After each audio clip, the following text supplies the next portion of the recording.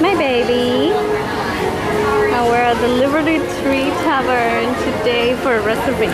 Let's do it. Okay.